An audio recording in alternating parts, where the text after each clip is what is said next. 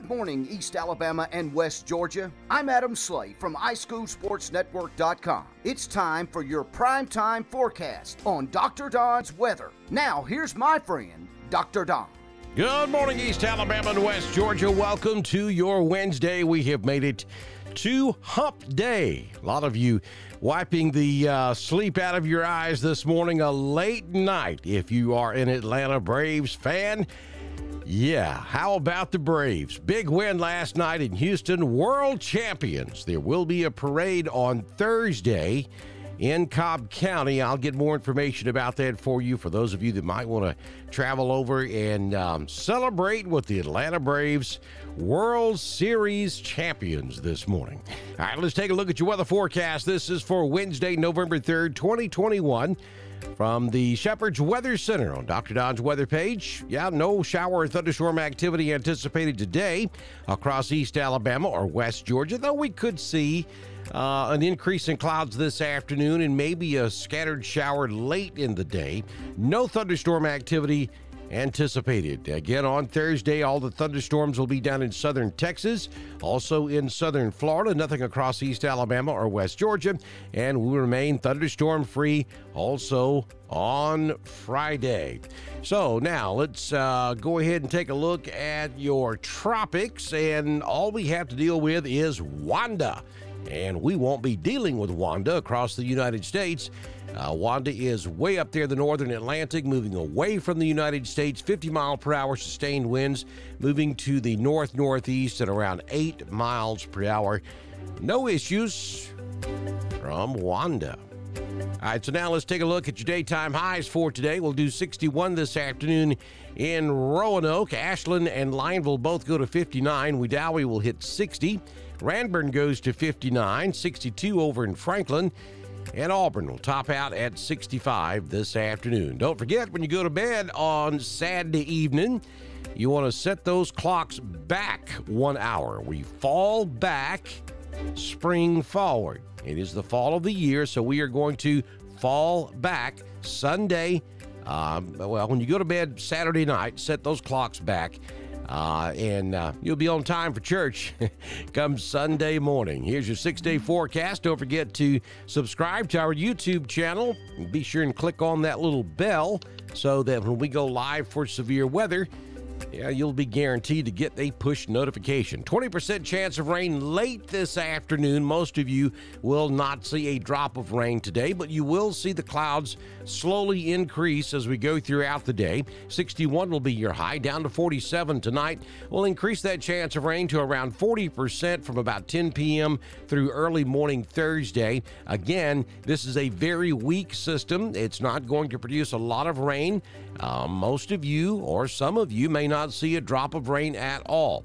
Thursday, a 20% chance of showers early in the day, then will stay mostly cloudy throughout the remainder of the day. It's going to be one of those cloudy and cool, raw days.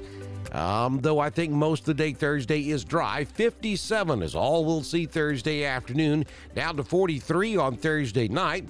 And then just in time for the weekend, we'll go back to mostly sunny skies. Maybe a few clouds left over Friday, but we will be dry on Friday and we'll hit 59 in the afternoon as a slow warming trend begins. Down to 40 on Friday night for high school football. That full forecast is on the way.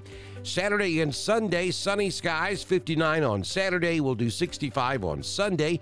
And by the time Monday gets here, warming up nicely, it'll be a pleasant start to your next work week. 70 will be the high with lots of sunshine on Monday. Here's your Southern Union State Community College live Doppler HD radar this morning. That's not rain, those are clouds. We're looking at the satellite shot uh, overlay on top of the radar. And as you can see, there's no green out there, so there's no rain. But as you can see, we do have a few high level clouds moving into Clay County, Randolph, uh, back over toward Coosa County, and down into central Alabama. Uh, and so we'll see intervals of, of clouds and broken sunshine throughout uh, the remainder of the day. As we get into the afternoon, those clouds will start to thicken a little bit more. Now let's take a look at your Round one, Alabama High School Athletic Association playoff forecast for Friday night. Geneva will be in town to take on the Handley Tigers at right field. Gaylesville will be at Wadley, and Woodland will be on the road at Cedar Bluff. Right now, we're backing off of those 30s. We're going to bring you back into the lower 40s for overnight lows on Friday night. Nonetheless, it's still going to be a cool Friday night, so dress accordingly. And don't forget, uh, if you want to listen to the ball games, go to iSchoolSportsNetwork.com. There will also be information there about how you can watch the games. We're in the playoffs now, uh, so all of that works a little bit differently.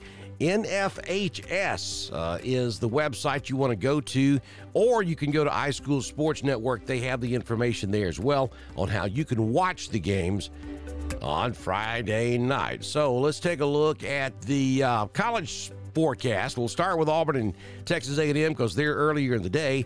That kicks off at 2:30 on CBS at Kyle Field in College Station, Texas.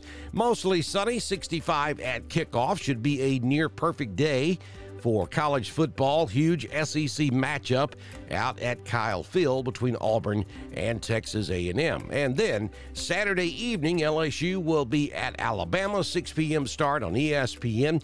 Clear skies. We should be right around 52 at kickoff, headed for an overnight low of around 39 and that'll be at Bryant Denny Stadium in Tuscaloosa. Again, that should be pretty nice college football weather over at the Capstone. Don't forget to check us out on Twitter. Follow us at DSTREN1040 on Twitter. We put all of our weather information there as well as YouTube and Facebook. Also, go to drdonwx.com where you can download our brand new weather app. You can also support Dr. Don's weather. There's a donation button right there at the top of the page. And uh, yeah, while you're there, go over to the Mixlr or go over to the God's Country page and download Mixlr so you can listen to God's Country anywhere in the whole wide world. And when you're in East Alabama, be sure to listen to them at 90.9 FM. If you prefer classic rock, it is 89.7. East Alabama's classic rock giant, and you get my daily weather forecast on both of those stations. All right, folks, I'm headed back down to southeast Georgia, back on deployment for several days, so I may not be able to bring you a weather forecast every single day, but as I always tell you, if there is a threat of severe weather, even though I may not be able to broadcast live, I will have the information on Facebook, Twitter, and on YouTube, so be sure and check your news feeds often. I don't anticipate anything severe in the next four to five days. It looks like uh, rather nice fall weather on the way for East Alabama and West Georgia. Have a fantastic Wednesday, and I'll see you back in here next time on Dr. Don's Weather. Good Lord willing, and the creek don't rise.